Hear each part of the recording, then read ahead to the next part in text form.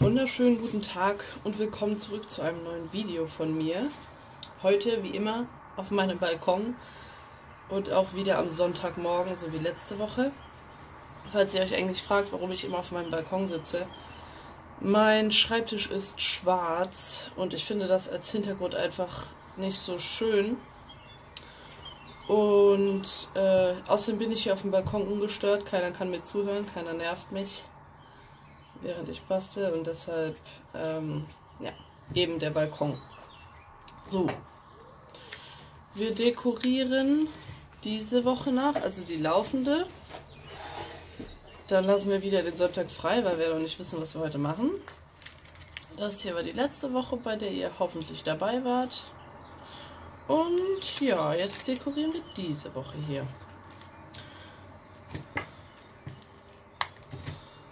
So.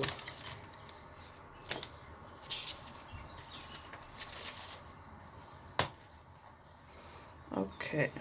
Ich habe mir ausnahmsweise mal was zu trinken mitgenommen.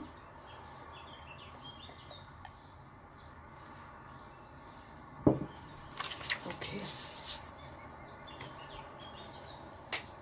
Diese Woche ist jetzt nicht so viel passiert. Deswegen äh, müssen wir mal schauen, was wir so machen. Und ich habe mir auch noch nicht wirklich was rausgesucht, was ich hinkleben möchte. Zumindest in die obere, in den oberen Teil der Woche. Weil da ja immer ein Stück frei bleibt.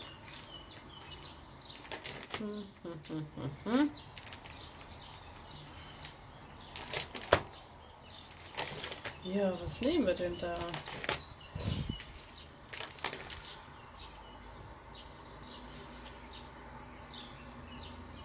Ich habe ja neu tatsächlich eins von diesen, wie heißen die nochmal? Ich habe es vergessen. Dieses hier.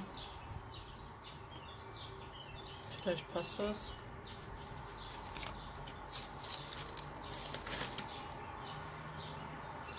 Es kam diese Woche auf jeden Fall äh, HM-Klamotten an, also dazu passt es vielleicht. Dann hebe ich mir das mal lieber auf für den Tag, an dem das kam. Und was machen wir jetzt an den Montag? Ich weiß es nicht, ich weiß es nicht.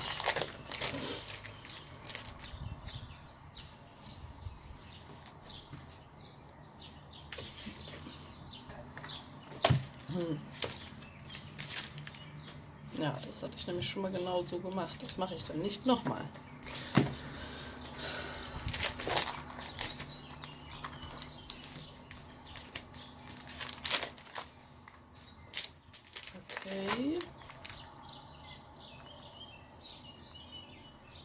Vielleicht lassen wir es erstmal frei und gucken mal, was so äh, passiert. So, am Montag war ja frei. Da war ja Feiertag. Und äh, offensichtlich war ich mit den Kids auf dem Spielplatz. Wie ich mir das jetzt wirklich günstig markieren kann, ich weiß es nicht.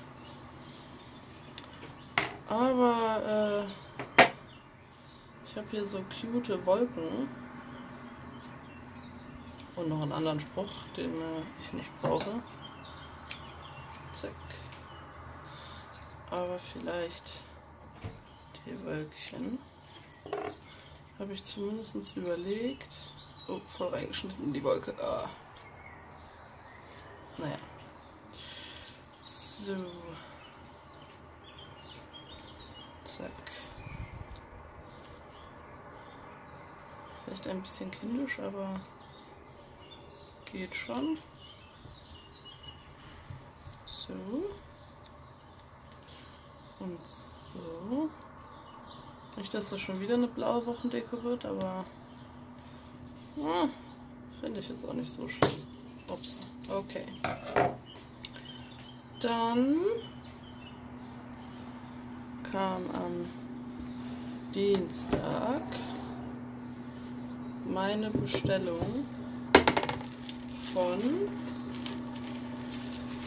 Alex an. Und ja, da wäre es natürlich logisch, ich kann da einen von ihren Stickern hinzukleben.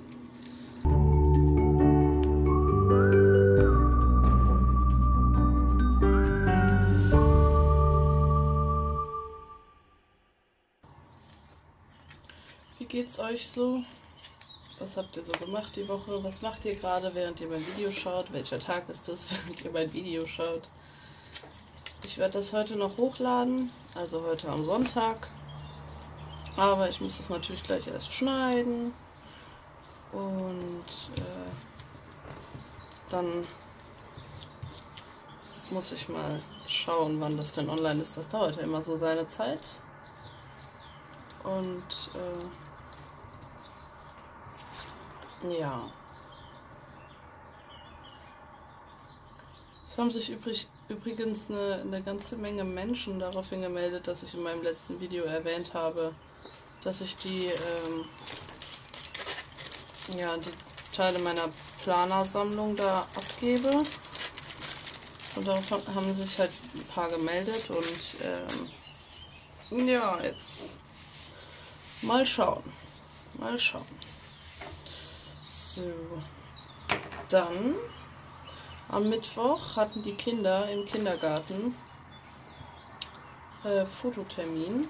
Also eigentlich nur die, die große, aber ich hatte das ja im letzten Video schon erzählt. Eigentlich nur die, die große. Und die kleine konnte halt zum Geschwisterfoto auch dazu kommen. Und äh, das haben wir natürlich direkt gemacht. Denn äh, so Fotos vom Fotograf, das ist ja doch nochmal was anderes, als wenn man immer nur zu Hause die Fotos selber macht. Und ja, dann äh, vielleicht so ein Rahmen.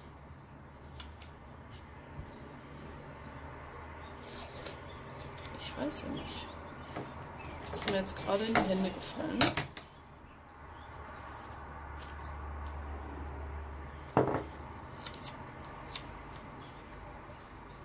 Und würde ja auch passen, ne? Zum Fotografieren oder zum Einrahmen quasi. Ja, und ich freue mich immer total, dass sie mir so, so unglaublich liebe Kommentare schreibt. Weil äh, man sieht immer nur bei so einem YouTube-Video die ganzen Aufrufe, dann weiß man nicht, gucken die Leute sich die, die Videos an oder schalten die direkt wieder aus oder was machen die? Weil man kann das ja auch nicht, also man kann das ja überhaupt nicht festmachen, ob das denen jetzt gefällt. Auch nicht, wenn die einen Daumen nach oben geben. Klar, das ist schön und das ist auch wichtig, aber äh, nur so bei so einem Kommentar kann man irgendwie wirklich sagen, was, äh, ob das dem anderen jetzt gefallen hat. Und äh, ja, dann freue ich mich immer, meine, wenn meine ganzen Planner-Buddies und auch Menschen, die ich noch nie, äh, mit denen ich noch nie gesprochen habe, mir halt eben schreiben und fragen oder, oder was sagen oder was fragen oder so. Und äh, ja, das ist äh, ganz, ganz cool. So viel Resonanz.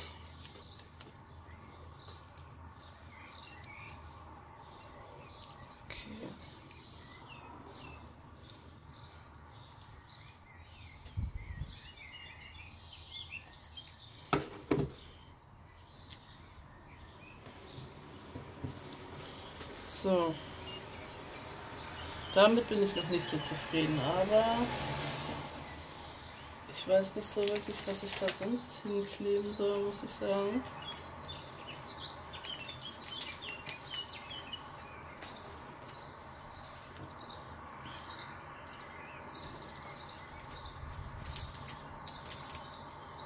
Hm.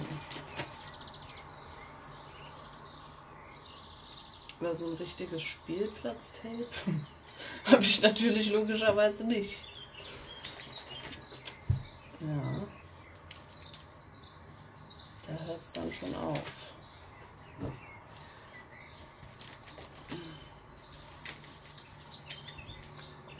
Dieses wunderschöne Tape wäre ja auch mal wieder klasse, wenn es zum Einsatz käme.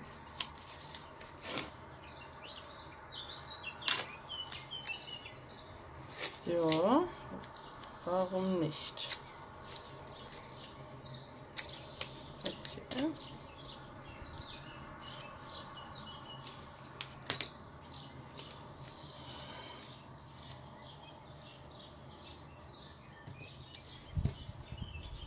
Dieser Bereich oder dieser?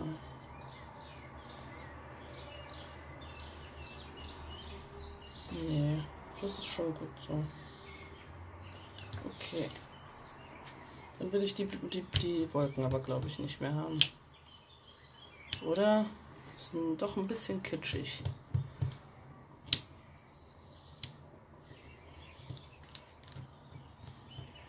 Und den dann aber mittiger. So. Ich hatte ja äh, vorher, also ich meinen, also ich habe ja meinen eigenen Planer genäht und das war direkt nachdem ich äh, gemerkt habe, dass der große in A5 nichts für mich ist. Also ich habe mich vorher gar nicht erst großartig rumprobieren müssen mit Planern und was weiß ich. Ich habe dann einfach gewusst, ich will äh, einen Planer in Personal und ich habe dann gewusst, wie der aussehen soll und dann habe ich den halt genäht. Ne? Und äh, deswegen hatte ich nie original Filofax-Einlagen, aber ich muss zugeben, dass die mir echt am liebsten sind. Ne? Die sind also ich weiß nicht, die machen das alles mit und die sind zwar dünn, aber ich finde die super. Also ich würde nie wieder irgendwie jetzt umsteigen und ich werde mir auch fürs nächste Jahr wieder äh, Filofax-Einlagen kaufen, weil ja, ich finde die einfach gut. Hm, ja, doch grün passt, weil ich will ja hier noch das Tape in der Hoffnung, dass das funktioniert, hinkleben. So, ich äh, label mal schnell. Das überspule ich euch, aber äh, ihr kriegt Musik dahinter.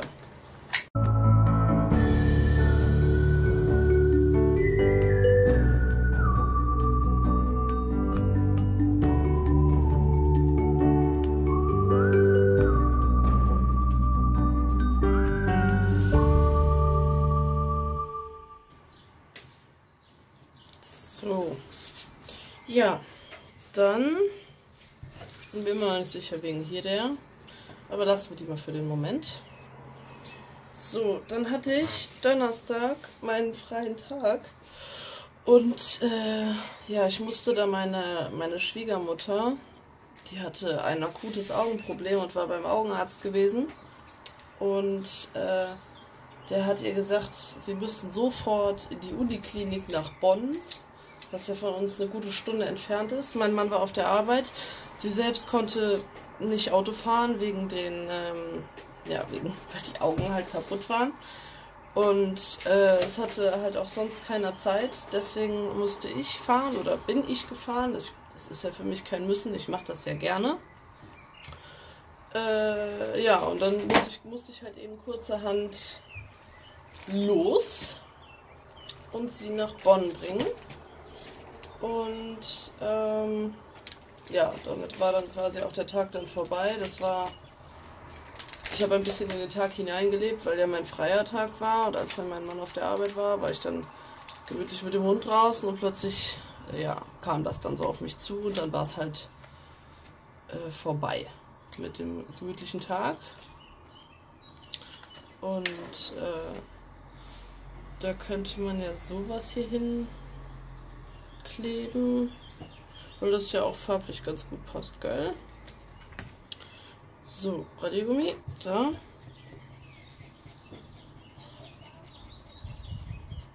Okay.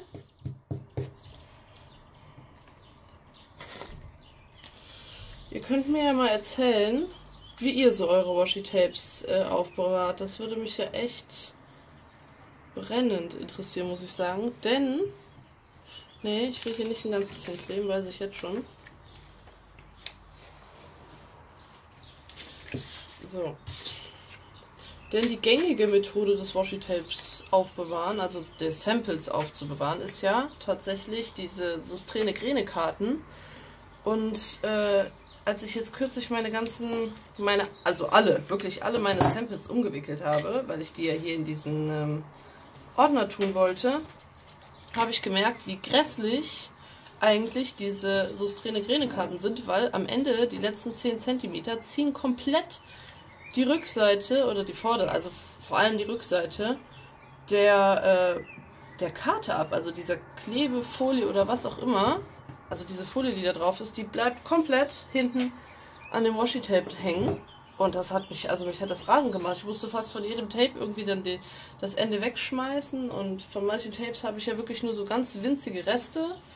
Ja, und da war ich dann äh, schon ein bisschen äh, traurig. Aber gut, jetzt ist es so. Und ähm, ja, dann geht es weiter am Freitag. Da war ich äh, arbeiten. Ich arbeite ja jeden Tag. Und als ich nach Hause kam, äh, hab, musste mein Mann schlafen. Der hatte dann wieder Nachtschicht. Und dann haben wir, haben wir im Wohnzimmer gechillt, die Kids und ich. Und dann kam die H&M-Bestellung, die wir jetzt schon fast vor zwei Wochen gemacht haben oder so. Da waren hauptsächlich Klamotten für die Kids drin. Auch so ein paar Teile für mich, aber wie gesagt, hauptsächlich für die Kinder. Jetzt ist halt die Frage, ob ich das hier wirklich aufkleben will. Oder ob ich das lieber nicht will.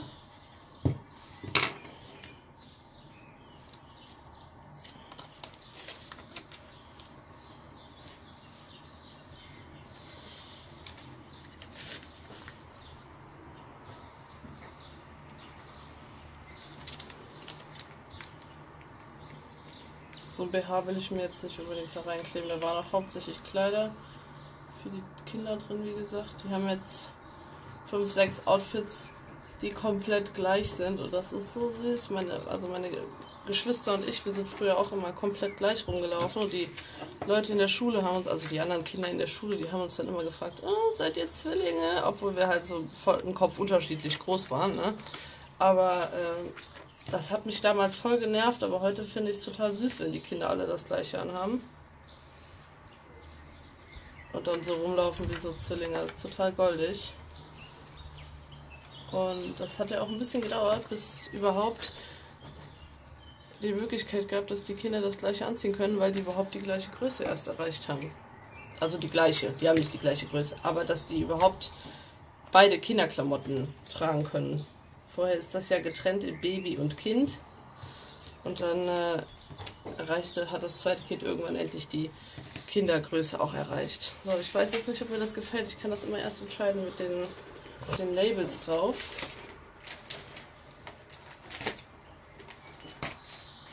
Und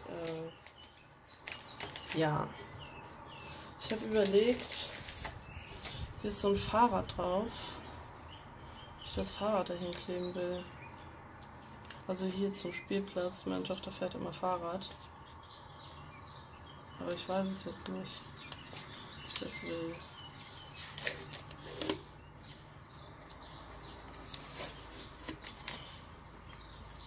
Wird ein bisschen voll dann, ne? Wenn das jetzt hier unten wäre, wäre es okay, aber. Aber ich will das ja schon tagesspezifisch zuordnen. Ich mag das ja. Es war ja vorher gar nichts für mich. Ich habe immer vordekoriert. Und auch im ähm, Hobonichi Weeks, da dekoriere ich immer vor. Aber hier in den Planer, weil das eigentlich nur so Planer ist, den würde ich niemals mit rausnehmen. Der ist mir viel zu schade, weil dieses Nuvo-Kleder einfach so schön ist. Da dekoriere ich halt eben nach drin. Und dann kann man nachher mal durchblättern und hat hübsche Dekos und trotzdem noch so ein bisschen Erinnerung. So, dann waren wir einkaufen gestern. Ähm, dazu habe ich eigentlich immer, klebe ich eigentlich immer hier dieses von einem Tape, was ich besitze, die, ja, die Sachen hier so hin. Außer, außer Einkaufen ist gestern nämlich auch nicht viel passiert. Wir waren, äh, ich war auf der Arbeit von 12 bis 16 Uhr. Mein Mann hatte vorher geschlafen, der kam aus der Nachtschicht mal wieder. Und ja, dann habe ich halt eben gearbeitet und als ich dann nach Hause kam, sind wir dann ziemlich direkt einkaufen gefahren. Und das war Großeinkauf, logischerweise. Und ja. Als wir dann fertig waren, hatten wir noch nichts, nicht wirklich was gegessen. Und dann sind wir zum Dönermann gefahren. Nicht zum Dönermann unseres Vertrauens, sondern zum Dönermann in unserer Nähe. Aber äh, der Döner war nicht schlecht und alle waren satt und dann sind wir heim und haben die, ähm, haben die Einkäufe ausgeräumt. Und ja, dann war Bettzeit irgendwie. Mein Mann war super müde, weil er morgens nur vier Stunden geschlafen hatte oder so. Und die Große war auch schon müde. Ist auch direkt eingeschlafen. Und die Kleine hat noch stundenlang rumgehampelt. Dann habe ich einen Livestream geguckt von äh, Kalenderli. Der war sehr schön. So ein ganz heimeliger Zwei-Personen-Livestream, äh, aber sie hat ihre Woche dekoriert und es war ganz cool, ihr dabei zuzugucken. Und ja. So, oh, da sind wir ja schon am Sonntag, der ja noch nicht passiert ist. Wir überlegen noch, was wir machen. Wir wollten vielleicht ein bisschen, ähm, ja, wir wollten zum zu einem Freizeitpark oder so fahren. Aber wir wissen es noch nicht so genau. Mal gucken. Dann fehlt uns noch ein Tape. Für hier oben, richtig? Und uns fehlt das hier. Ich mache das mal kurz und spiele euch wieder Musik ein.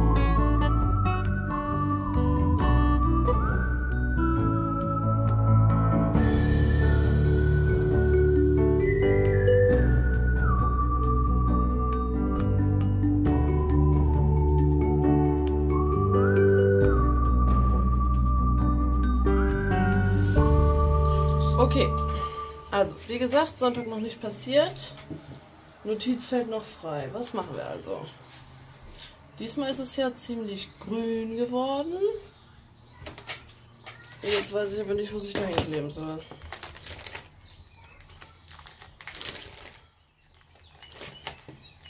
Wiederhäuser wären ja doof.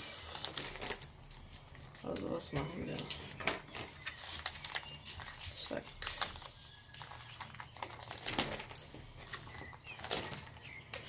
Ja, jetzt bin ich äh, ein bisschen... Oh, vielleicht, vielleicht könnte ich ja endlich mal... Ich habe das hier irgendwie noch nie benutzt. Ich benutze ja immer nur Teile draus und dann klebe ich sie eigentlich immer zurück. Also irgendwie habe ich das Tape hier noch nie benutzt. Passt das?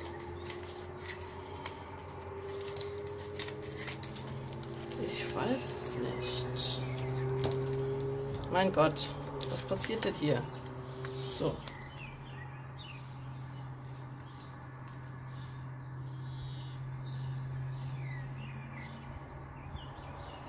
Hm. Ja, was sagt ihr? Passt es oder passt es nicht? Nicht wirklich, oder? Ganz ehrlich, nicht wirklich.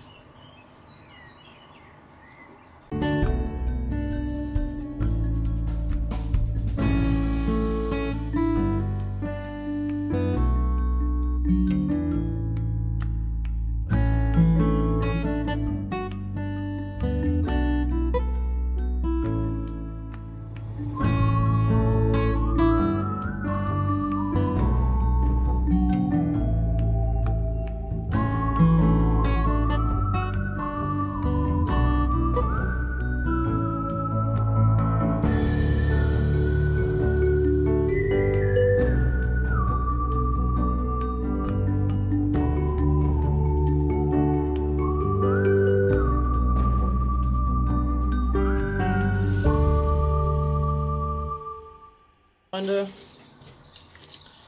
ich bin äh, komplett überfordert und weiß nicht, was ich machen soll. Ich habe noch kein Mädchen aufgeklebt. Vielleicht rettet mich das. Aber äh, ich denke nicht.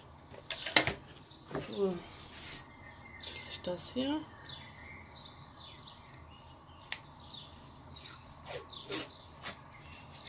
Und dann doch ein Mädchen. Ich komme schon mal ein bisschen nach unten.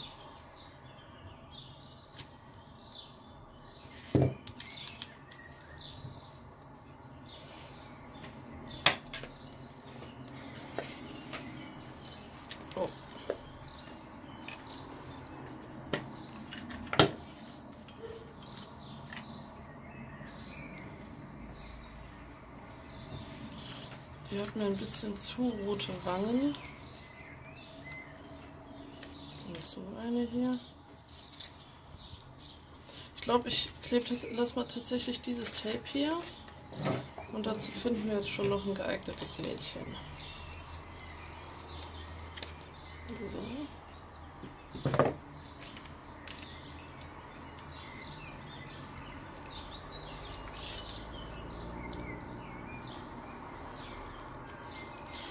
Ja, jetzt gibt es nicht mehr so viel zu erzählen, muss ich zugeben.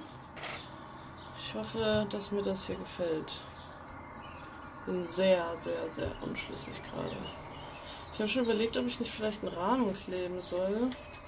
Das wäre auch noch eine Idee. Kann man gleich auch noch ausprobieren. Das Video zieht sich unnötig in die Länge gerade, aber es ist ja Sonntag. Ihr habt ja alle Zeit, richtig? Sehr schön. Zu grün.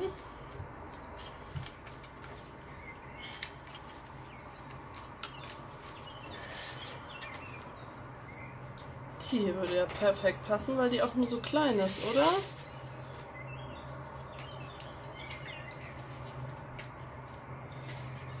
So, ich habe hier noch diese Tapes. Das müssen doch... Oh, ich weiß es nicht.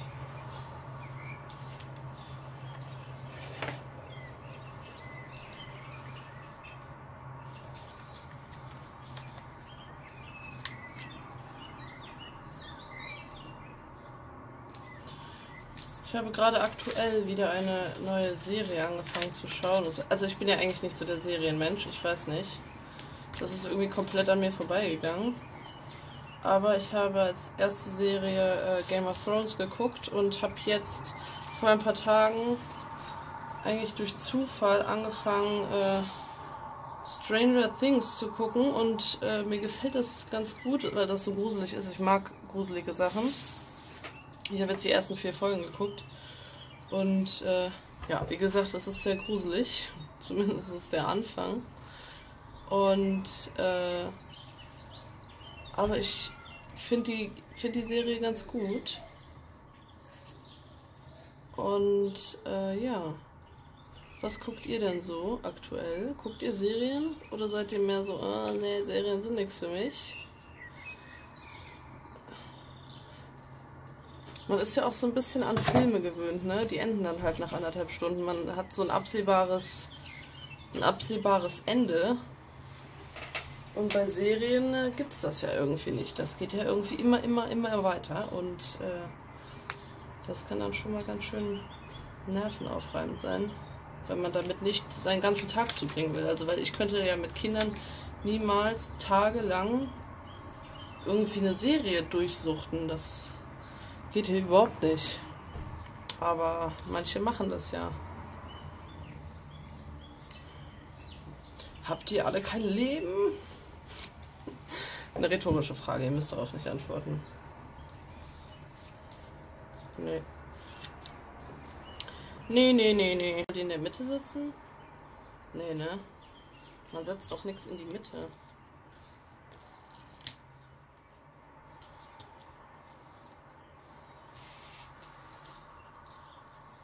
So hin, hä? Und ich glaube, ich setze sie da hin.